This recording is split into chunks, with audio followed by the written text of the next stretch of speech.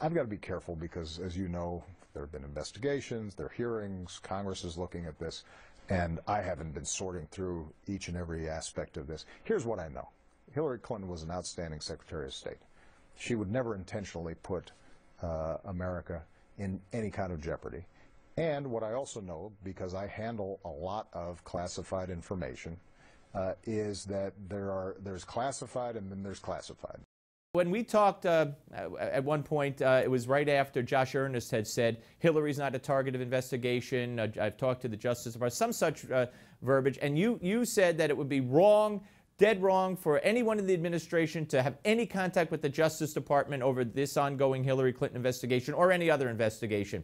So, what did you make of the President of the United States going on national TV and basically lining out Hillary Clinton's defense uh, in an ongoing investigation?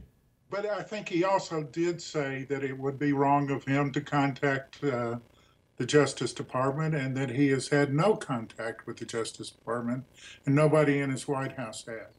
So he's consistent with what I was saying. It would be improper if they did, but it, he's saying they did. But no, I'm not talking about contacting the Justice Department. I'm talking about sending a message uh, publicly, giving his opinion, his take on an ongoing investigation, which he prefaced by saying, I got to be careful what I say because there's an investigation. But he said it anyway.